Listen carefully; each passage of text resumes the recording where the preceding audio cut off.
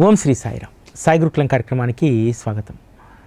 బాబా తన భక్తుడి గురించి చాలా చిన్న చిన్న విషయాల్లో కూడా చాలా జాగ్రత్తలు తీసుకుంటాడు. భక్తుణ్ణి ఒక సమస్య నుంచో ఒక ప్రమాదం నుంచో బయటపడేయాలంటే లాజిక్ మిస్ కాకుండా ఆ సమస్య నుంచి ఆ కష్టం నుంచి బాబా బయటపడేస్తాడు. లాజిక్ లేకుండా బాబాకు సంబంధించి ఒక్క లీల కూడా మన జీవితంలో జరగదు. ఈరోజు మనం అంతా కూడా చాలా అధునాతనమైనటువంటి యుగంలో ఉన్నటువంటి వాళ్ళం. మూడు గంటల సినిమాల్లో ఏదైనా ఒక్క సీన్లో మనకు మిస్ మ్యాచ్ కనిపిస్తే డైరెక్టర్ దొరికిపోతాడు పట్టేసుకుంటారు. బాబా భక్తులుగా మనకు జరిగేటువంటి లీలల్లో లాజిక్లు లేకపోతే ఎదుటివారు నమ్మరు. అందుకనే బాబా తన భక్తుడికి ఏ లీల చేసినా సరే అందులో ఖచ్చితంగా లాజిక్ ఉంటుంది. ఆ లాజిక్ లేకుండా ఏ లీల కూడా మన జీవితంలో జరగదు. ఎందుకంటే అభూత కల్పనలు అనేటువంటివి బాబా మార్గంలో బాబా లీలల్లో అసలు వాటికి చోటే ఉండదు. మీరు మీ జీవితాల్లో జరిగినటువంటి లీలలను ఒకసారి చూసుకోండి. బ్యాంకు లోను రానటువంటి వారికి బ్యాంకులోను బాబా కృప వల్ల ఎట్లా వచ్చింది? రాత్రి రాత్రి మాయ చేస్తే వచ్చినటువంటిది కాదది. అక్కడ ఒక చిన్న పాయింట్ వల్ల ఒక చిన్న మెరిట్ వల్ల. మనకు అప్పటి వరకు ఆ మెరిట్ను ఆ ఆఫీసరు చూసి ఉంటాడు. ఆ తర్వాత ఒకటికి రెండు సార్లు మనం వెళ్ళి మనం ఎంక్వైరీ చేసిన తర్వాత సరే క్లయింటు మంచివాడు నిజాయితీపరుడు చూద్దాం ఏమైనా ఇంకా మెరిట్ ఉందేమో ఇతనికి లోన్ ఇవ్వడానికి కావలసినటువంటిది అని చెప్పి ఆ విధంగా చూసి మనకు కాదు అనుకున్నటువంటిది వస్తుంది తప్ప లాజిక్ లేకుండా ఏదీ రాదు. ఇక్కడ మీకు ఒక అద్భుతమైనటువంటి సంఘటన చెప్తాను. ఇది పంతొమ్మిది వందల డెబ్భై డెబ్బై ఐదు సంవత్సరం మధ్యలో జరిగినటువంటిది. నాగ్పూర్కి చెందినటువంటి మహజన్ అనేటువంటి వ్యక్తి. అతను రోడ్ కా రోడ్ ట్రాన్స్పోర్ట్ కార్పొరేషన్లో పనిచేస్తూ ఉంటాడు. వాళ్ళకు అప్పుడే కంప్యూటరైజ్డ్ సిస్టమ్స్ వస్తూ ఉన్నాయి సెంట్రల్ ఆఫీస్లో. దానికోసం అని చెప్పి ఇతన్ని తన మిత్రుని ఇద్దరిని కలిపి ఒక ట్రైనింగ్ కోసం అని చెప్పి ముంబై పంపిస్తారు మొదటి నుంచి కూడా పెద్దగా భక్ దైవభక్తి లేనటువంటి వాడు. అందున బాబా పైన అస్సలు విశ్వాసం లేనటువంటి వాడు. పంతొమ్మిది వందల డెబ్భై ఐదు నాటికే నాగ్పూర్ పరిసర ప్రాంతాల్లో బాబా యొక్క మహిమ విస్తృతంగా ప్రచారంలో ఉంది. ఎందుకంటే భూటి లాంటి వాళ్ళు భీష్మ లాంటి వాళ్ళు అదేవిధంగా కపర్ధే లాంటి వాళ్ళు వీళ్ళందరూ కూడా నాగపూర్ పరిసర ప్రాంతాలకు చెందినటువంటి వాళ్ళు నాగపూర్ చెందినటువంటి వాళ్ళు అనేక మంది ఉన్నారు. కాబట్టి బాబా యొక్క మహిమ అక్కడ బాగా ప్రాచుర్యంలో ఉంది. ఇతని స్నేహితుడు ఎప్పుడూ కూడా చెప్తూ ఉండేటువంటి వాడు మహజనికి. నువ్వు ఒకసారి షిరిడీకి వెళ్ళు వెళ్తే నీకు అర్థమవుతుంది. నువ్వు ఏ దేవతా గుడికి వెళ్ళకపోయినా పర్వాలేదు. నువ్వు నాస్తికుడే కావచ్చు. కానీ ఒక్కసారి నువ్వు నాస్తికుడు అయినప్పటికీ కూడా ఒకసారి షిరిడీ వెళ్ళి వస్తే బాగుంటుంది అని చెప్పి చెప్పేవారు కానీ ఎప్పుడు కూడా పట్టించుకోకపోయేవాడు. ఇద్దరూ కలిసి ట్రైనింగ్కి వెళ్ళి ట్రైనింగ్ పూర్తయిన తర్వాత తిని మహాజన్ మిత్రుడు షిరిడీకి వెళ్ళడానికి పాస్ రాయించుకుంటారు. మీ అందరికీ తెలుసు కదా ఆర్టీసీలో పనిచేసేటువంటి వాళ్ళకు కొన్ని పాస్లు ఇస్తారు స్టాఫ్కు. తినేమో నేరుగా నాగ్పూర్కు పాస్ రాయించుకుంటాడు మహాజని. అక్కడ లోకల్ బస్సులో ట్రైనింగ్ సెంటర్ నుంచి వాళ్ళు ఉండేటువంటి బస్సుకు వెళ్ళేటువంటి బస్సులో డిస్కషన్ జరుగుతుంది ఇద్దరి మధ్యలో. నువ్వు తప్పకుండా షిరిడీకి వెళ్ళు. నేను నీ టికెట్ పైన నాగ్పూర్ వెళ్ళిపోతాను. నా పాస్ నీకు ఇస్తాను. నువ్వు షిరిడీకి వెళ్ళి ప్రశాంతంగా రెండు రోజులు ఉండి వచ్చేయి. నువ్వు ఎప్పుడు చూసినా అలజడిగా ఉంటావు నీ అలజడంతా పోతుంది అని చెప్తాడు. కానీ మహజని వాదిస్తాడు నేను వెళ్ళాల్సినటువంటి అవసరం లేదు. అక్కడికి వెళ్తే నాకు ఏ ప్రయోజనము ఉండదు అదేవిధంగా నాకు ఏ అనుభవము కలగదు. ఎందుకంటే నాకు భగవంతుని పట్ల విశ్వాసం లేదు అని అంటారు పక్కనే ఉన్నటువంటి ఒక వృద్ధుడు బస్సులో ఉన్నటువంటి వృద్ధుడు నువ్వు వెళ్ళాలి తప్పకుండా నువ్వు వెళ్తావు షిరిడీకి అని అంటాడు. అన్నప్పుడు మహజని కోపం వస్తుంది ఇంగ్లీష్లో తిట్టేస్తారు ఆ ముసలతన్ని? నువ్వు వ్యక్తిగత విషయాల్లో ఇట్లా పక్కన ఉన్నటువంటి వాడు అసలు పా- నాకు పరిచయం లేనటువంటి వాడు మా వ్యక్తిగత విషయాల్లో నువ్వు ఎవడు జోక్యం చేసుకోవడానికి నువ్వెవడు సలహా ఇవ్వడానికి బోడి సలహా ఇవ్వడానికి అని చెప్పి ఇంగ్లీష్లో తిడతాడు. అయినా సరే ఆ వృద్ధుడు విసిగించుకోడు. తర్వాత స్నేహితుడు మళ్ళీ చెప్తూ ఉంటాడు నేను ఒక్క నా మాట జీవితంలో ఒక్కసారి విను. నీ జీవితమే మారిపోతుంది. అని చెప్పి అంటే తన ససమిరా అంటాడు. అప్పుడు ఆ వృద్ధుడు మహాజన్ భుజం మీద చెయ్యి వేసి నువ్వు షిరిడి వస్తున్నావు. వెళ్దాం మనం అని చెప్పి అనగానే ఆ చెయ్యి స్పర్శ వృద్ధుడి యొక్క చేతి స్పర్శ తనకు తెలియనటువంటి ఒక అనుభూతిని ఇస్తుంది. తన అప్పుడే మిత్రుడు చెప్పేస్తాడు సరే ఇంతగా చెప్తున్నావు కాబట్టి నేను షిరిడి వెళ్తాను. ఇదిగో నా నాగ్పూర్ టికెట్ తీసుకో. అదేవిధంగా నీ పాస్ నాకు ఇవ్వంటాడు నిజంగా అట్లా టికెట్ ఎక్స్చేంజ్ చేసుకోవడం పాస్లు ఎక్స్చేంజ్ చేసుకోవడము వాళ్ళ నిబంధనల ప్రకారం సంస్థ నిబంధనల ప్రకారం విరుద్ధమైనటువంటిది. చట్టరీత్యా అది నేరం కూడా. అయినా సరే ఆ మిత్రుడు మహజని షిరిడీకి వెళ్ళడమే ప్ర- కావాల్సింది తనకు. కాబట్టి షిరిడీ తనకున్నటువంటి పాస్ ఇచ్చేస్తాడు. మహజని తెల్లవారి ముంబై నుంచి షిరిడీ బస్ ఎక్కి షిరిడీలో దిగేసరికి ఆ రోజు బస్సులో కనిపించినటువంటి వృద్ధుడు అతని సాదరంగా ఆహ్వానిస్తాడు. రారా నీకోసం ఎదురు చూస్తున్నాను నువ్వు వస్తావని నాకు తెలుసు. రెండు భోజనం టికెట్లు తీసుకున్నాను నీకు నాకు. సరే నీకు రూమ్ కూడా ఏర్పాటు చేశాను. కానీ అక్కడ వేడి నీళ్ళు రావు. ఈ- రోజుకైతే ఏదో రకంగా నువ్వు స్నానం చేసి రేపటి సంగతి రేపు చూసుకుందాము అని చెప్పి వెళ్ళి స్నానం చేసి వచ్చేసరికి భో రెండు టికెట్లు పట్టుకొని భోజనశాలకు తీసుకెళ్తాడు. భోజనం అయిన తర్వాత దర్శనానికి కూడా వెళ్తారు వెళ్ళి వచ్చిన తర్వాత మరుసటి రోజు కూడా ఆ వృద్ధుడు ఇతను రెడీ అయ్యేసరికి రూమ్ ముందుంటాడు. పద పద ఇప్పుడు మనం దర్శనానికి వెళ్దామని చెప్పి ఇతను చేయి పట్టుకుంటాడు. పట్టుకోగానే తనకేమీ అర్థం కాదు. రెండో చెయ్యి ఆ వృద్ధుడిది వణుకుతూ ఉంటూ ఉంటుంది. అరే చాలా అబ్నార్మల్గా ఉన్నాడు ఈ వృద్ధుడు అసలు ఎవరు? అని చెప్పి అతను వెనుకు వణుకుతున్నటువంటి ఆ చేతిని చూస్తూ నడవసాగుతాడు. అప్పుడు ఆ చేతిని ఇలా పైకెచ్చి ఊపుతూ ఒక మాట చెప్తాడు. అనవసరంగా ఆ వ్యక్తి చనిపోయేవాడు. నువ్వు కూడా చనిపోయేవాడి కానీ ఇప్పుడు ఆ వ్యక్తి చావు నుండి బయటపడ్డాడు. అని చెప్పి అంటే తనకేమీ అర్థం కాదు. దర్శనానికి వెళ్ళి వచ్చిన తర్వాత తను నాగ్పూర్కు ఫోన్ చేస్తాడు. ఫోన్ చేస్తే అక్కడ అందరూ కంగారు పడుతూ ఉన్నారు. విషయం ఏం జరిగిందంటే ఇతను ప్రయాణించేటువంటి బస్సు ఏదైతే నాగ్పూర్కు మహజని టికెట్ తీసుకున్నాడో ఆ బస్సు ప్రమాదానికి గురై అనేక మంది చనిపోతారు. ఆ విషయం చెప్తారు. చెప్పగానే మహజనికి అలజడి మొదలవుతుంది. అరే అందులో నా ప్లేస్లో నా మిత్రుడు వెళ్ళాడు కదా. నా మిత్రుడికి ఏమైనా జరిగిందా అని చెప్పి ఫోన్ చేస్తాడు వాళ్ళ బస్ డిపోకు. చేస్తే అందులో ఆర్టీసీకి సంబంధించి పాస్ తీసుకున్నటువంటి వ్యక్తులు ఎవరూ ఎక్కలేదని చెప్పి చెప్తారు తర్వాత విచారిస్తే ఏం తెలుస్తుందంటే ముంబైలోనే మరొక రోజు ఉండి కుటుంబానికి కావలసినటువంటి వస్తువులను షాపింగ్ చేసుకొని ఆ తర్వాతి రోజు తను సొంతంగా టికెట్ కొనుక్కొని వెళ్దామని చెప్పి తను ముంబైలో ఉన్నట్టు తెలుస్తుంది. ఇది తెలిసినటువంటి మహజని ఆశ్చర్యపోతాడు. ఎందుకంటే ఇక్కడ బాబా ఇద్దరి మరణాలను ఇద్దరి ప్రమాదాలను తగ్గి తప్పించాడు. మహజని షిరిడీకి రాకుండా ఆ బస్సు ఎక్కింటే ప్రమాదానికిలోనే చనిపోయేటువంటి వారు. అదేవిధంగా తన స్నేహితుడు ఎక్కి ఉన్నా సరే అతను చనిపోయేవాడు. అతని స్నేహితుడిని ముంబైలోనే ఆపాడు బాబా. ఇంకొక రోజు ఉండి కుటుంబానికి సంబంధించినటువంటి షాపింగ్ చేసుకొని పోవాలని చెప్పి రెండవది ముఖ్యమైనటువంటిది మహజని షిరిడీకి వచ్చేలాగా చేసి అసలు మహజనికే ఆ ప్రమాదం జరగాలి.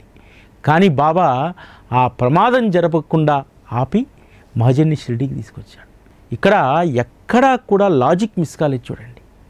ఒకవేళ అతని స్నేహితుడు గనక ఇతని టికెట్ ఇతని పాస్ పైన నాగ్పూర్ బస్ ఎక్కి ఉంటే చట్టరీత్యాది నేరం. ఒకరి పేరు మీద ఉన్నటువంటి పాస్ మీద ఇంకొకరు ప్రయాణం చేయకూడదు. చాలా ఇబ్బందుల్లో పడేటువంటి వారు. ఆ ఇబ్బంది నుంచి బాబా తొలగించాడు. అదేవిధంగా మహజని ప్రమాదం గురి కాకుండా బాబా కాపాడు. ఇక్కడ ఈ ఈ లీలలో చూడండి ఎక్కడా కూడా లాజిక్ మిస్ కాలేదు మీకు. మహాజని షిరిడీకి వచ్చాడు కాబట్టి మహాజని షిరిడీకి పంపినటువంటి ఆ భక్తుని ప్రమాదంలో నుంచి కాపాడాలి కాబట్టి ప్రమాదం జరిగిన తర్వాత బాబా కాపాడలేదు. అసలు ప్రమాదం బారిన పడకుండానే ముంబైలో ఉంచేశాడు. ఒకవేళ బస్సు ఎక్కి ఉంటే ప్రమాదం నుంచి బాబా కాపాడితే కాపాడవచ్చు. కానీ అక్కడ తను స- సంస్థ నిబంధనలను ఉల్లంఘించి మహజని పాస్ పైన ప్రయాణం చేయడం తప్పు. దాన్ని కూడా బాబా జరగనివ్వలేదు. అంటే బాబా ఒక భక్తుణ్ణి రక్షించేటప్పుడు ఒక భక్తుడికి ఎదురయ్యేటువంటి సమస్య నుంచి తను బయటపడేసేటప్పుడు ఎంత లాజిక్ పాటిస్తాడో మీరు చూడండి. సచ్చరితలో మనము ఇటువంటి సంఘటనలు అనేకం చదువుతాం కదా. మనము జామ్నేర్ లీల చదువుతాం. జామ్నేర్ లీలలో బాబా ఎంత ప్రాక్టికల్గా చేశారు చూడండి. ఊది ఇచ్చి పంపిస్తాడు రామ్గిరి బువ్వాతోటి కానీ రామ్గిరి బువ్వ స్టేషన్లో దిగగానే టాంగా సిద్ధంగా ఉంటుంది. ఏదో మాయా మంత్రంతోటో ఇంకో దాంతోటో రామ్గిరి బువాను జామ్నేర్కి పంపేవారు కానీ అక్కడ టాంగా ఉంది. టాంగా నడిపేటువంటి వ్యక్తి ఉన్నాడు. టాంగా తీసుకెళ్ళి నానాసాహెబ్ ఇంటి ముందు దింపింది. అక్కడ అంతా కూడా బీ ప్రాక్టికల్గా జరిగినటువంటిది. బాబా తన యోగ శక్తితోటి కాపాడవచ్చు నానా కూతుర్ని. కానీ అంతా కూడా ప్రాక్టికల్గా దేనికోసం నానా ఎదురు చూశాడు? ఊదీ కావాలని చెప్పి అన్నాడు కాబట్టి ఆ ఊదీ పైన ఉన్నటువంటి విశ్వాసాన్ని నిలబెట్టడానికి రామ్గిరి బువా ద్వారా ఆ ఊదిని ఏర్పాటు చేసి పంపిస్తారు. అప్పటి వరకు ఏమాత్రం కూడా ఇబ్బంది కలగలేదు ప్రసవానికి. ఆ ఊది తీర్థం సేవించిన తర్వాత ప్రసవం చాలా ఈజీగా జరిగింది. ఇక్కడ ఎక్కడా కూడా లాజిక్ లేకుండా లేదు. కంప్లీట్ లాజికే అదేవిధంగా నానాసాహెబ్ చందోర్కరు హరిశ్చంద్ర పర్వతం మీద ఉన్నటువంటి అమ్మవారిని దర్శించుకోవాలనుకుంటాడు.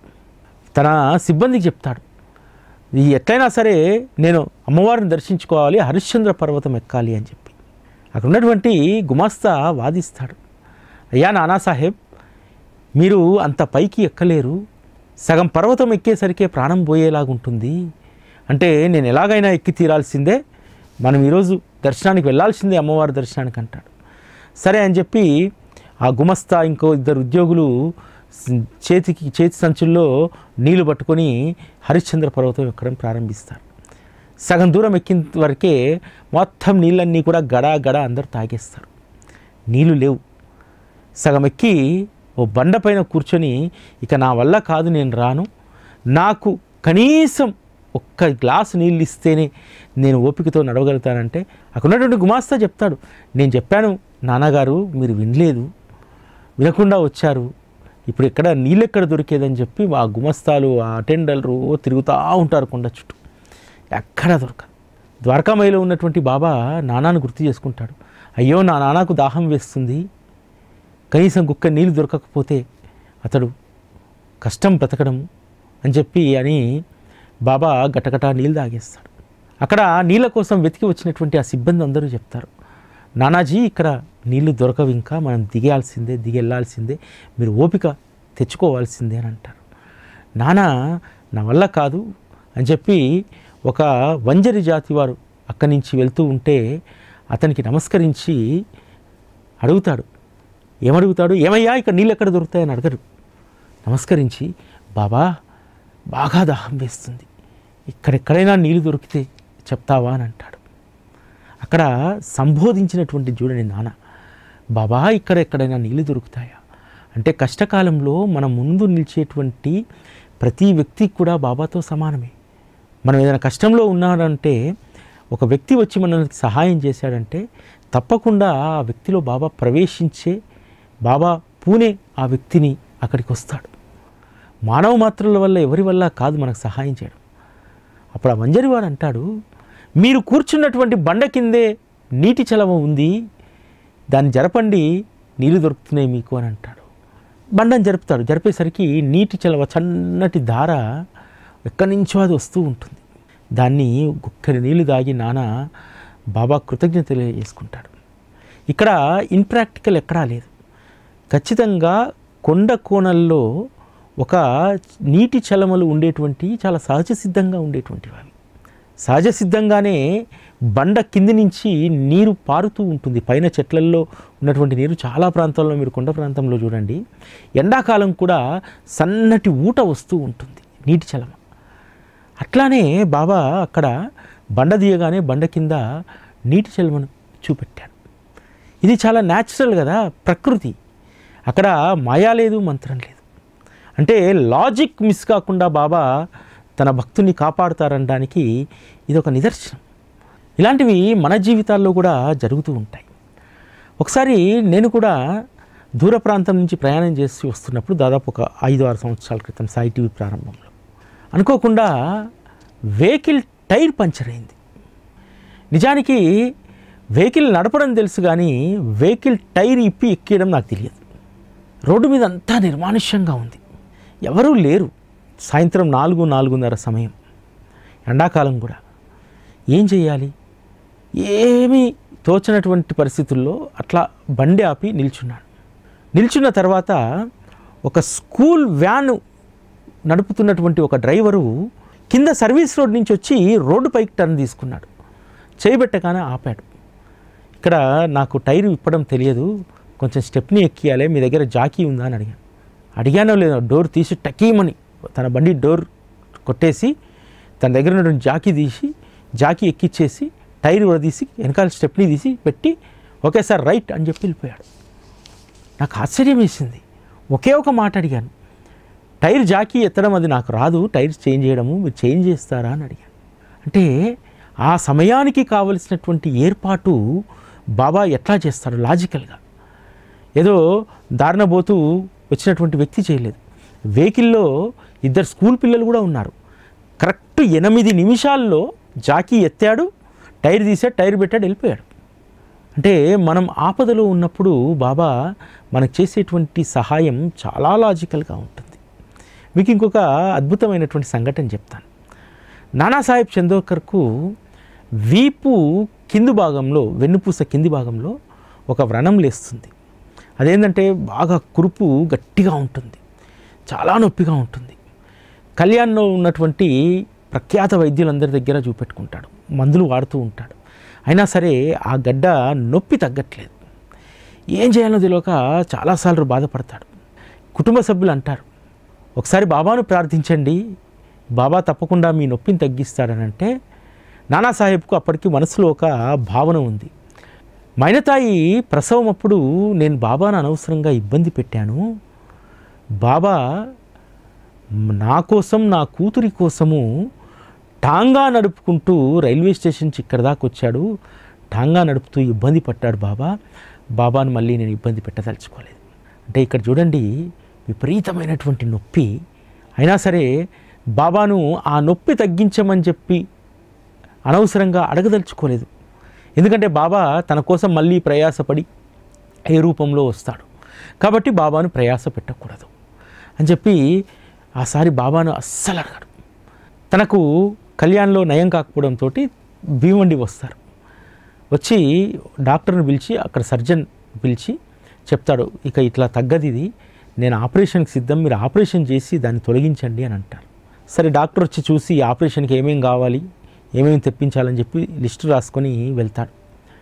చిన్న ఆపరేషన్ కాబట్టి నేను మామూలుగా ఇంట్లోనే చేసేస్తాను ఇబ్బంది లేదు అని చెప్పి తెల్లవారి మీరు పదకొండింటికల్లా సిద్ధంగా ఉండండి అని చెప్పి వెళ్ళిపోతాడు.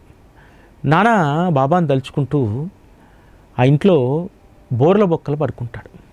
పడుకున్నప్పుడు ఆ పనివాడు ఆ గడ్డ పైన ఏ వస్త్రము కప్పకుండా వెళ్ళిపోతాడు. వెళ్ళిపోయి బాబా బాబాకు సంబంధించినటువంటి లీలల్ని బాబా నామాన్ని భగవన్ నామాన్ని స్మరిస్తుంటే చూరు నుంచి ఇంటి పైకప్పు చూరు నుంచి చిన్న పెంకు రాలి ఆ గడ్డ మీద పడుతుంది. పడగానే గట్టిగా అరుస్తాడు నాన్న. అందరూ అరలిపోతారు ఏమైపోయిందా అని చెప్పి. ఆ- ఆ పెంకు కరెక్ట్గా ఆ గడ్డ సెంటర్లో పడి కుచ్చుకొని మొత్తం చీము రక్తం అంతా కూడా దారలై పారుతుంది. కాస్త కుచ్చుకున్నప్పుడు ఇబ్బంది అనిపించింది కానీ ఆ తర్వాత ఆ కురుపంతా కూడా దగ్గరికి వస్తుంటే బాబాను తలుచుకున్న కొద్దీ తనకు ఒక అద్భుతమైనటువంటి తన్మయత్వంలోకి వెళ్ళిపోతాడు. తను బాబాను కోరకపోయినా తనకు శస్త్రచికిత్స లేకుండానే బాబా వ్రణాన్ని ఏ సమయానికి దాన్ని తగ్గించాలో చిన్న పెంకు పై చూరు పెంకు చిన్న ముక్కతోటి ఆ వనాన్ని తీసివేస్తాడు. తనకెంతో ఇష్టమైనటువంటి నానా ఒంటిపైన కత్తిని కత్తెరను పెట్టకుండా ఎంత అద్భుతంగా దాన్ని తీసివేశారో చూడండి. ఇక్కడ నానా ఒక్కడే పడుకుంటే బాబా అదృశ్య రూపంలో వచ్చి బాబా ఆ వ్రణానికి ఊది రాసి లేకపోతే ఆ వ్రణాన్ని బాబాయే తన చేత్తోడు తీసివేసి ఇటువంటి లాజిక్ లేనటువంటి పని బాబా చేయలేదు. పక్కా లాజిక్ పడుకున్నాడు పైనుంచి అది పడ్డది చూరు నుంచి. అది కొస్సగా ఉంటుంది కాబట్టి పుండు లోపలికి పోయింది. దాంతో అది పగిలిపోయింది. తర్వాత డాక్టర్ వచ్చి చూస్తాడు. ఏమిటి ఆశ్చర్యం అసలు? నేను దీనికోసం ఎంతో సరంజామా సిద్ధం చేసుకున్నాను. కొత్త లేజర్ తెప్పించాను కొత్త కత్తి తెప్పించాను కొత్త సీజర్ తెప్పించాను స్టెరిలైజ్ చేసి పెట్టాను. అబ్బో నేను మూడు నాలుగు గంటలుగా పెద్ద చిత్రచికిత్స చేయబోతున్నాను నానా సాహెబ్కి అని చెప్పి అన్నీ సిద్ధం చేసుకొని వస్తే ఇక్కడ ఏమీ లేదు. అయినా మీకు ఏమీ కాదు వ్రణమంతా కూడా పోయింది. మీ లో ఇన్ఫెక్షన్ లోపలికి పోలేదు బాడీ లోపలికి. కాబట్టి ఆ వ్రణాన్ని క్లీన్ చేసి చిన్న పట్టి కట్టి డాక్టర్ వెళ్ళిపోతాడు. అంటే బాబా మనకు చేసేటువంటి ఉపకారంలో హండ్రెడ్ పర్సెంట్ లాజిక్ ఉంటుంది. లాజిక్ లేనటువంటిది బాబా ఏది కూడా చెయ్యరు. మనము శ్రీ సాయి సచ్చరితను కనుక గమనిస్తే మీరు ప్రతి లీలలో కూడా చూడండి. లాజిక్ లేకుండా ఏది ఉండదు. అదే పిల్లకి కూడా తనకు నారికురుపు అయితే బాబా ఎంత సింపుల్గా దాన్ని తీసేశాడు. ఆ నొప్పిని భరించలేకపోతున్నాను. అసలు దాని వైపు చూడడానికే భయపడుతున్నటువంటి డాక్టర్ పిల్లయి కాలు మీద కాకి వచ్చి పొడుస్తుందిలే నీ గాయం పోతుందన్నారు. అబ్దుల్లా వచ్చి చూసుకోకుండా కా అతని పుండు పైన కాలు వేయడంతో పుండు పోతుంది కదా. ఇదంతా లాజిక్తో కూడుకున్నటువంటిది కదా. ఆ తర్వాత డ్రెస్సింగ్ చేసుకొని నాలుగు రోజుల తర్వాత ఆ పుండు మానిపోయింది కదా. మీ బాబా యొక్క లీలలన్నీ కూడా లాజిక్తో కూడుకున్నటువంటివి ఉంటుంది. అంతే తప్ప అల్లావుద్దీన్ అద్భుత దీపంలాగా మాయామంత్రం ఎక్కడా ఉండదు. మనము బాబా లీలల్లో అద్భుతాలను మహిమలను మనం ఎక్స్పెక్ట్ చేయకూడదు. ఎందుకంటే బాబా అటువంటి వాటిని చేయడు అభూతంగా అభూత కల్పనలతో కూడినటువంటి లీలలు ఏవి కూడా బాబా చెయ్యరు. మనం అనుకుంటాం ఏదో ఆయాచితంగా బాబా మనకు చేసేయాలి. బాబా తలుచుకుంటే ఏదైనా బొమ్మను బొరుసు బొరుసును బొమ్మ చేయగలుగుతాడు. ఇవన్నీ చాలా ఈజీ బాబాకని అనుకుంటాం. లాజిక్ లేకుండా అవేవి బాబా చేయడనేటువంటి విషయాన్ని మనం గుర్తుపెట్టుకోవాలి. ఇది ఈరోజు సాయి గురుకుల. మళ్ళీ రేపటి కార్యక్రమంలో కలుసుకుందాం. అప్పటి వరకు సెలవు. నమస్కారం.